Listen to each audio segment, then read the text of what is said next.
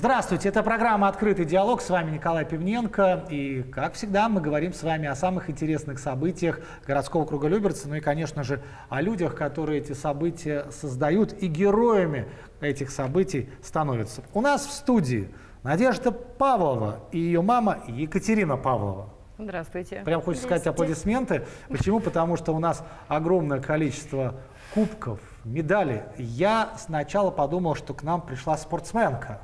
Ну, потому что медали это спорт, да, первое место, второе, третье и так далее, кубок опять же. А наша сегодняшняя героиня, которой мы уточнили 12 лет, это правда, уже Да. 12. Дело в том, что у нас Надежда певица, не просто певица, а по крайней мере мечтает стать певицей академической и певицей в жанре Оперетты и мюзиклы. оперетты и мюзикла. Вот об этом мы сейчас будем говорить, потому что уже много наград, но должен сказать, что, ну, впрочем, наверное, мама сейчас нам расскажет, как э, 12-летний ребенок дошел до жизни такой, да? Вот, скажите, вы когда почувствовали, что хотите петь? Может быть, кто-то вам вас э, насильно в школу отвел, или мама заставила, говорит, пой. Нет, э, в 4 года Так. я уже э, пошла в музыкальную школу. Э, Ну, Не случилось- очень хотела, да? Или Нет. хотела? Хотела? Хотела. Мгм. Так. Все это случилось случайно, происходило по дороге и напевала всякие песенки. Мои Ага. родные об этом услышали э, и, от- и отвели меня в музыкальную школу. А кто конкретно отвел? Бабушка. Бабушка. Вот, бабушки с дедушками. Да. Весь мир держится на бабушках. Да, они как-то ярче ощущают, что вот что-то, что ты там напела, ну-ка, ну-ка. Так. И бабушка привела с музыкальную Да. школу. Что сказали там? Берем девочку? Да, они меня взяли в, в подготовительную группу. Там мы изучали, ну, основы музыки. Так. Ноты и Там привили звуки. любовь Да. к музыке, я бы сказала. Просто э, я вот сразу хочу спросить, ну вот э, я как-то в музыкальную школу не попал, видимо, мои бабушки далеко тогда были, и я тоже что-то напевал, но никто это не услышал. Поэтому нет у меня таких кубков и медалей, вот, посвященных пению. Но тем не менее, скажите, а тяжело учиться музыке? Все-таки вам сейчас 12, тогда было 4, это 8 лет вы живете в музыке, можно так сказать, да? Там же сольфеджио есть, да? Фортепиано. фортепиано, вот это все время что-то там мучительно. Или вам нравится? Конечно, бывает порой сложно, но музыка — это моя жизнь. Мне Ага. нравится. Надежда, э, ваша мама, когда она увидела ваше первое победное выступление, что из эт- этих кубков было раньше всего? А, Первого кубка, Первого к сожалению, кубка, к здесь сожалению, нет. здесь нет. Да, наверное, такой большой не смогли принести. Ну что это было за первое выступление, уважаемая Екатерина? А, Значит, у нас э, в нашем э, городском поселении Малаговка проходил конкурс, назывался «Песни военной шинели». Надюша исполнила песню, которую мы сами с ней дома выучили, не имея музыкального образования, пели мы песню «Катюша». А, Председателем жюри была э, Илона Броневицкая. Вот, мы заняли там тогда второе место, потому что... Это наш первый конкурс Да, был. это был наш Серебро. самый- да, Да. было серебро, это был наш самый первый конкурс, но э, вот Илона сказала, что у девочки будет большое будущее, пусть она обязательно занимается музыкой. Но я должен сказать, что очень часто э, те, кто занимает первое место, потом как-то растворяются да, в жизни. А А, те, кто стимул. занимает второе, всегда Они стимул. стремятся, Они к стремятся, победе. Мгм. А вы стремитесь к победе? Да. А вот что нужно делать в пении, чтобы перепеть другого? Вы вот оцениваете свой талант, вы знаете, что вы поете лучше всех? Или вы чувствуете, что вот тут еще подработать надо, вот тут надо что-то э, изменить? А, ну, бывает. Всегда есть Всегда что-то, есть что можно что-то улучшить. из- улучшить и изменить. Ну вот вы же участвуете в конкурсах, да, Да. там идет борьба. Да. Вот я никогда не понимал, сейчас много разных программ, где сначала поют взрослые, потом поют э, дети, ну, самые разные подходы. И когда поют взрослые, идет соревнование, я это понимаю, да? Когда поют дети, идут соревнования, я не понимаю, потому что это слезы, потому что кто-то должен уйти и так далее. Нет. Вот проигрывать э, сложно, выигрывать тоже сложно. Вы как оцениваете своих коллег? Детей это лучше проходит, потому что Да. дети обычно дружат. Они обмениваются телефонами, не- они за друг друга переживают, утешают или наоборот радуются. С ними гораздо проще, чем со взрослыми. Да. Мгм. Ну скажите, сколько у вас, это только часть у нас Да, здесь, часть. э, получается, пять кубков и две медали. Расскажите, где вы уже принимали участие, в каких фестивалях, конкурсах? А, Я принимала участие в «Катюше юниор», прошла там финал, и также я ездила в Новосибирск от Москвы э, на «Веснушку Авиа», Мгм. участвовала в «Серебряном голосе», э, в, Надежда конкурс, Ремонсиада. да, Ра- Надежда Ремонсиада и конкурс Лемешева. Понятно. Ну, вы- а как вы Ну, все находите эти конкурсы или вас кто-то рекомендует? Снабжает музыкальная школа. Да? Да, или некоторые конкурсы мы ищем сами. Понятно. Скажите, пожалуйста, все-таки какое было образование? Мы перед началом программы тут целый список написали. Мамы, к маме вопрос. Что э, наша Надежда посещала или посещает сейчас? А, Надюша сейчас учится, как и все дети, в гимназии. Это гимназия 46 поселка Малаховка в шестом А классе. Помимо этого она занимается в музыкальной школе имени Ковлера а, и занимается в детской, музыкаль- детской школе искусств города Люберцы именно академическим вокалом. Вот скажите, э, я так понимаю, что пока э, именно Московский детский хор это такая уже ну, выход на другой уровень, правильно я понимаю? Да. Вот Да. много там народу-то? Много. Много. Понятно. Есть четыре группы. э, Старшая группа, вот Надюша в этом году в старшей группе уже есть, Уже средняя, старшая. есть средняя группа, младшая и подготовительная группа. Хорошо. И вот мы до программы тоже обсуждали, что э, когда люди поют, особенно в хоре, всегда, мне кажется, когда я вижу, что вот один солист, два, три солиста и огромный хор, мне как-то жалко иногда этих людей, которые в хоре стоят, потому что они не солисты. Вот он Мгм. или она там впереди, а я тут стою со всеми. У вас есть сольные номера? И как с солистами вот в детском хоре дела обстоят? Да, есть сольный номер. Э, Я там пою «Прекрасно далеко». Да вы что? Это же песня, под которую плакали и вы, Екатерина, и Да. я, и все бабушки и дедушки, и даже прабабушки и прадедушки. Вы поете прекрасное далеко Да. в детском хоре э, имени Виктора Сергеевича Попова? Да. И еще одна песня «Я хочу взлететь над крышей». Понятно. А нельзя четверостишье какое-нибудь нам напеть из чего-то? Сложно? Из прекрасного далека. Слышу голос из прекрасного далека, Голос утренней серебряной росе. Слышу голос и манящая дорога, Кружит голову, как в детстве карусель. Я думаю, сейчас все подхватили, да? Прекрасное далеко. Дайте мне опять, дайте. Да. Я помню припев. Три-четыре. Прекрасное далеко, не будь ко мне жестоко, не будь ко мне жестоко, жестоко не будь. От чистого истока прекрасное далеко, прекрасное далеко, я начинаю путь. Возьмете солистом? Нет, в хоре, хотя бы постоять где-нибудь сзади. Надежда Павлова, мы по- по- пока еще никогда не пели в нашей программе. Это такая хорошая, я думаю, у нас с вами э, опция может появиться. Екатерина, чего вы так мучаете ребенка? Она дома-то хоть бывает? Ну, Она бывает дома, ну, крайне редко. В четверг у нас пока свободен. Ну а как вот, вот просто для многих родителей, которые не знают, да, вот что делать со своим ребенком, как его пристроить, чтобы а, обнаружить интерес, да, вот как вам удалось это сделать? А, Вот когда она еще была маленькая в детском саду, она ходила на большое количество кружков. На английский, в театральную студию, на, На хореографию, рисование. на рисование. А потом воспитатели сказали, вы знаете, вот все детки в кругу поют, а одна Надя поет, вот допивает мелодию. Просто воспитатели были с музыкальным образованием у нас. Ага. И они заметили, ну, как сказали, обратите внимание. И мы, мы тогда на тот момент занимались спортивной гимнастикой в Институте физкультуры в Малаховке. Господи, боже мой. И мы решили перейти на соседнюю улицу, сходить в музыкальную школу.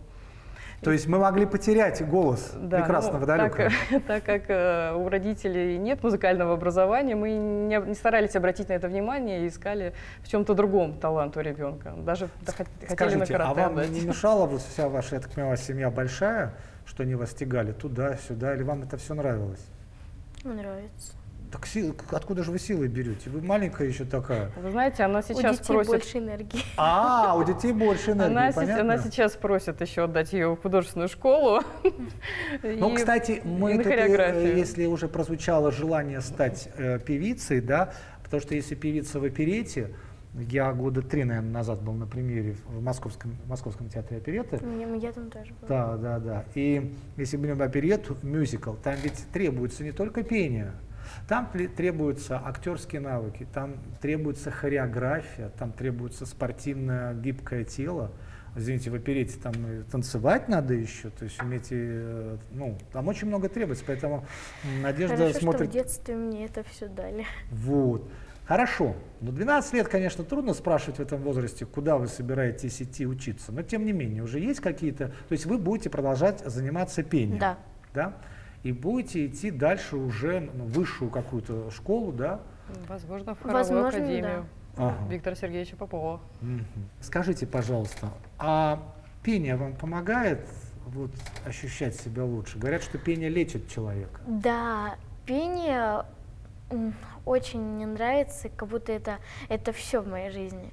Пение, когда я пою, э, ну, например, на сцене, да, сначала мне страшно выходить на сцену, но как только я выхожу на сцену уже э, и начинаю петь, все как будто страх улетучивается, и, я себя чувствую свободно, с- да, свободно на сцене, э, и даже поет как будто моя душа, я вживаюсь в роль.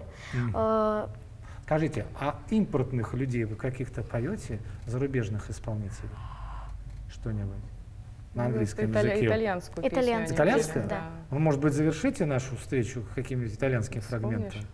Ща, надо подумать. Да ничего, что с акцентом. Тут я вам уже точно не помогу, потому что я только Челентано помню, могу ля-ля-ля-ля напеть. Есть э, итальянский и яку- и яку- якутская. Мы ее с хором пели. Давайте, фрагментик сделайте нам. Какой?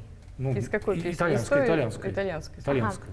Mântia, modalia terelea montania, un passo ce, un passo ce, si vede Francia proci dalla Spania, io vedo te, io vedo te, Mântia, modalia terelea montania, passo c'è. Lesti, lesti, viamo tiam solia, lesti, lesti, viamo tiam solia, funiculi, funiculia, funiculi, funiculia, viamo tiam solia, funiculi, фуникуля. Спасибо вам большое, Надежда Павлова, молодец. Просто хочется радоваться, хочется, чтобы все дети могли уже к 12 годам определиться. Это вообще фантастика, конечно. Маме Екатерине огромное спасибо. Всей вашей, а бабушке особенно. У нас две что бабушки. вот Одна так, ба- бабушка которая- провела музыкальную школу, а Да. другая бабушка провела большой детский хор. Вот так вот. Вот всем вашим родственникам огромное спасибо. И желаем вам всего самого доброго. Надежда Павлова, Спасибо. представительница поселка Малаховка, 12 лет. Я думаю, так лет через 10 будут интервью. Я тогда сохраню наше интервью. Мало ли что. Можно поблагодарить руководителя? Давайте поблагодарим. А, Я очень благодарна руководителям, которые во мне во- воспитали это чувство музыки. А, Очень благодарна э, своим друзьям за то, что они меня поддерживали, и своим родным. Спасибо Мгм. вам большое. Видите, какая скромная родных поставила на третье место. Надежда Павлова. Это программа, которая по-прежнему называется «Открытый диалог». Вернемся скоро. Это программа «Открытый диалог», и мы продолжаем беседовать с участниками, представителями Большого детского хора имени Виктора Сергеевича Попова и главными жемчужинами, это детьми. Конечно, если бы привели всех, было бы замечательно. Но сейчас у нас в студии еще одна солистка Большого детского хора имени Виктора Сергеевича Попова Алла Сайгак. Вот, и пусть меня простит Георгий Андреевич Журавлев, который тоже здесь присутствует, потому что он художественный руководитель и главный дирижер да, большого детского хора имени Виктора Сергеевича Попова. Это тот самый человек, без которого концерт не начнется, потому что сначала аплодируют ему. Как он выйдет, как он подойдет, как взмахнет палочкой. У вас же есть палочка, да, все как положено? Она есть, пользуюсь ей редко, чаще в оркестрах. А, то- а, в оркестре, Да. а так рукой? Да, в хоре только руками. Ага. А говорят, что, вы уж извините, Алла, вы подготовьтесь пока. А правда говорят, что у каждого дирижера есть набор палочек, почти как у Гарри Поттера, да? Одна волшебная палочка, другая какая-то там чуть ли не золотая. Это правда, да. Разный вес, разные рукоятки, какая-то из пробки, какая-то из пластика. Да и различная вот эта трость может быть. И для различной музыки э, иногда нужен хват плотный, иногда тоненький, иногда всей ладонью захватывать по-разному. И, соответственно, и разные длины тоже бывают. С ума сойти. Никогда даже не задумывался об этом. Вот. Ну хорошо. А, тут можно было бы много о чем говорить, но сегодня наше самое главное достояние это дети. И Алла, покажите нам, вы принесли с собой сертификат. Да? Да, это Давайте я вот, наверное, на мою камеру покажу. этой да? осенью мы почти что всем хором ездили в Артек на, контур- на конкурс солистов в большой сводный хор, это детский хор России, Мгм. и мне удалось стать солисткой этого большого сводного хора. А как там что? Драки, конкурентная борьба, ты плохо поешь, ты плохо поешь. А потом Георгий Андреевич встает и говорит, будет петь Алла, я сказал. Как у вас происходит? Ну, вообще ситуация была похожа, но Так, эм, вот. там был конкурс, в нем участвовало более 500 детей, Да вы что? да, и он проходит там вроде каждый год. М, И в несколько этапов выбирали солистов Ну, для то есть сначала хора один отбор, потом второй отбор, третий, тогда 500. Три тура. в три тура. 500. И вы фактически, а до 500, э, наверное, или до 500 еще были, ну, желающие, грубо говоря. И вы, Отборы их- внутри коллектива были, да. То есть а и- эти 500 со всей России и съезжаются. вы их победили. Это Ну, ж как надо, знаете, э, э, Михаил Михайлович Жванецкий когда-то говорил про Иосифа Давидовича Кобзона, это ж надо так петь. Вот это можно про вас сказать сегодня, Алла, это ж надо так петь. Как вы перепели полтысячи человек? Об этом история умалчивает, но это случилось. Да? А там жюри какое-то, тоже вопрос к Георгию Журавлеву.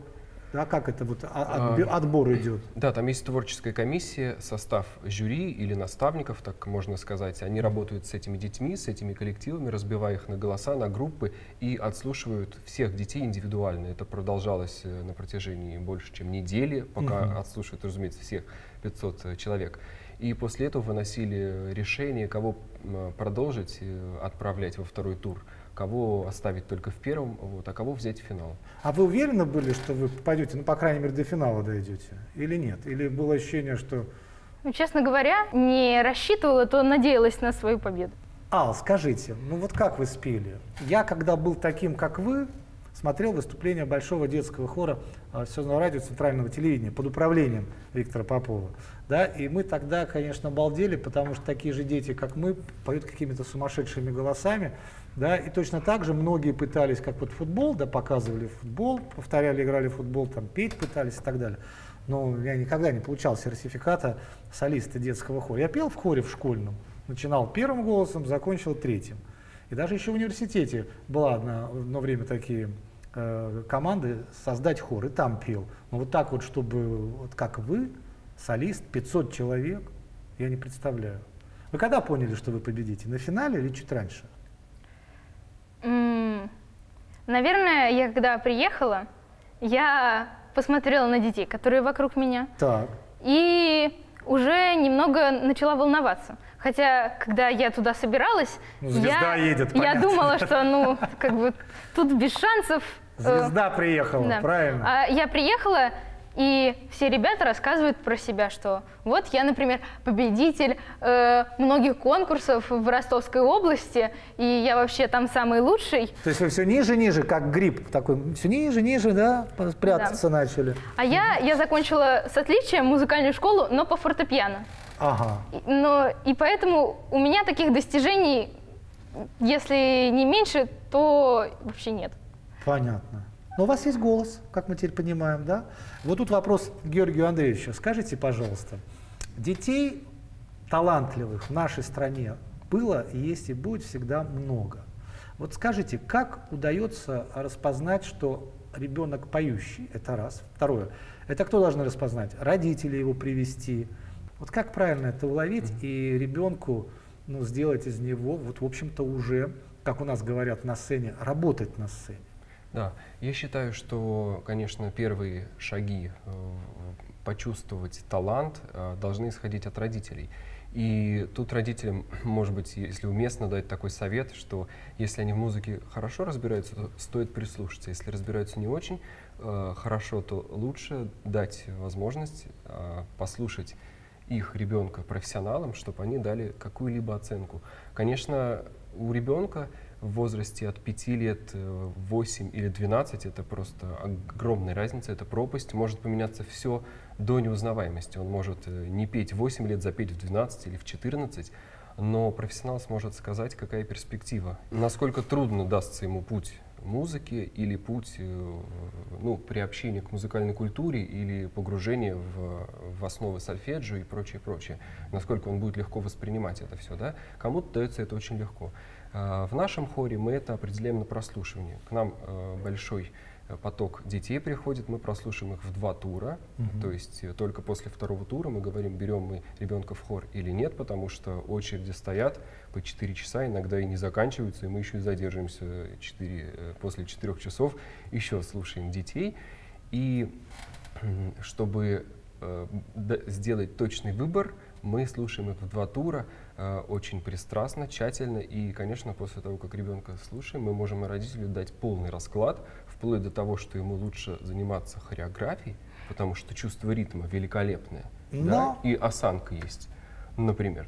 А, или вплоть до того, что ребенок все слышит, ничего не поет, поэтому он, например, может играть на каком-то музыкальном инструменте, потому что голос его не слушает, но слух у него внутренний, внутренний хороший. Можно пойти в ансамбль песни и пляски, правильно? Э, да. И то не в каждый. И то не в каждый. Да. И все-таки петь каждый может. Может каждый петь. Э, вопрос у кого как получится. Понятно. Я прямо вот сейчас так хочу в детство вернуться. Пришел бы к вам на прослушивание. Я уверен, что я бы с первого прошел бы. Я бы додавил, не знаю, взглядом, эмоциями, да? Как вы проходили прослушивание? Вас брали сразу или тоже мучили? Ну, на самом Мы деле... Все узнаем сегодня в детском да, правильно, хоре. Правильно. Э, я же училась в музыкальной школе в Люберецкой. Так. Да, я всегда любила хор, сольфеджио. У меня была прекрасная преподавательница, Рыбицкая Лариса Николаевна. Э, и она нам все время рассказывала про большой детский хор. И я, когда слушала какие-то записи старых песен, я всегда натыкалась на большой детский хор. И мне почему-то казалось, что это такая легенда, ну, которая больше не, суще не существует да, вообще. Вот как я говорил, да, было такое ощущение, что где-то в прошлом осталось. И а оказывается, есть. Однажды я просто наткнулась на то, что на новые записи, и увидела, что у Большого детского хора скоро будет концерт в Доме так. музыки. Я туда пришла, с удовольствием ослушала весь концерт.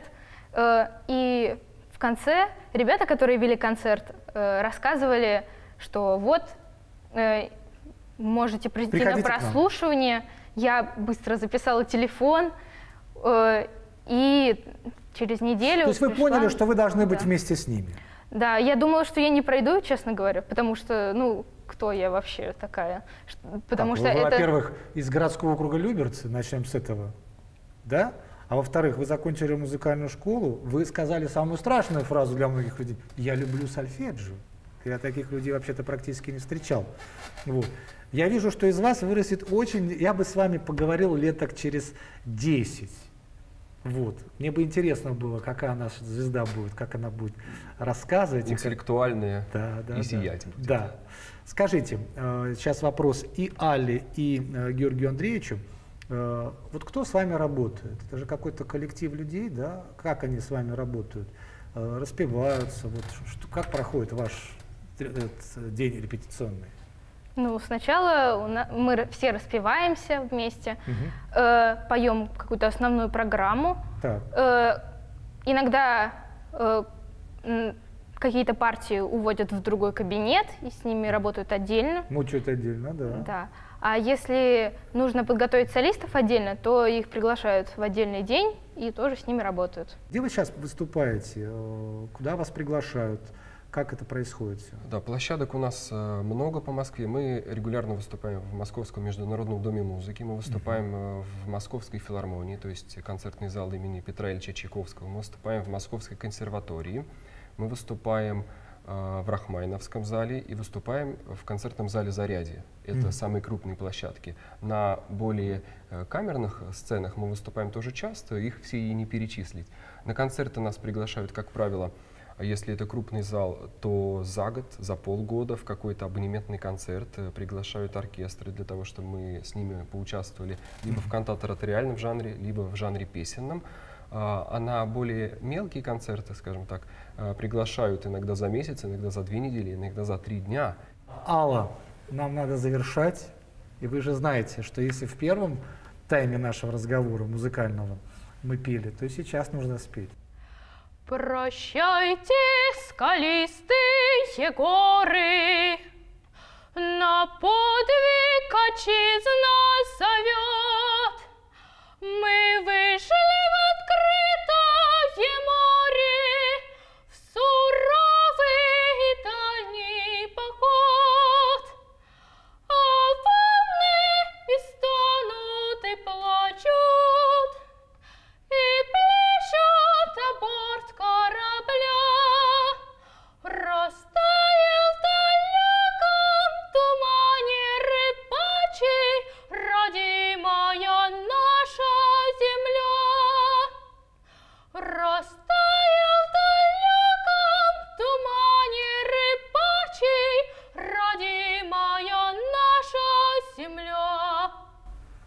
честно говоря, мне нечего добавить. Вот. Э, Я представил себе, как Алла подрастет, выйдет где-нибудь в караоке на э, набережной и запоет. Я думаю, что тогда многие забудут, что есть какие-то другие певицы. Мы вам, всем вашим э, подружкам, друзьям, всем, кто работает в Большом детском хоре, всем вашим преподавателям, э, Георгий Андреевич, передайте им большой привет, потому что вы даже не представляете, какое вы делаете э, фантастически важное дело. И мы очень хотим, чтобы хор э, по возможности чаще звучал, потому что вот, это называется пение. Вы давно слышали что-то подобное? Спрашиваю я наших телезрителей. Я благодарю наших участников, художественный руководитель и главный дирижер Большого детского хора имени Виктора Сергеевича Попова Георгий Журавлев, а также солистка Большого детского хора имени Виктора Сергеевича Попова Алла Сайгак. Удачи вам и новых совершений, а от вас ждем новых голосов. Спасибо. Всего доброго. Это была программа «Открытый диалог». С вами был Николай Пивненко. До свидания.